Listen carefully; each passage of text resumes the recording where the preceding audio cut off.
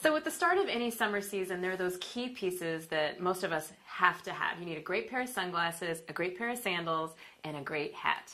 And Tula hats stood out to us immediately. There's a high quality in the construction of them. They look great on everyone, and they're made to last season after season. And there's a really neat story behind these hats as well. These are handcrafted in Mexico in a village that has been doing this for over 400 years. And they're made from a sustainably harvested palm.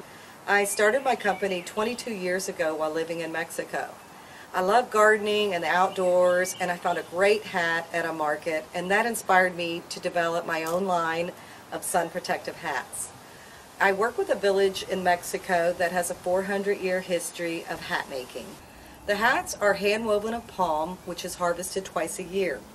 The strands of palm are tightly woven together and then they're machine sewn to create the basic hat shape.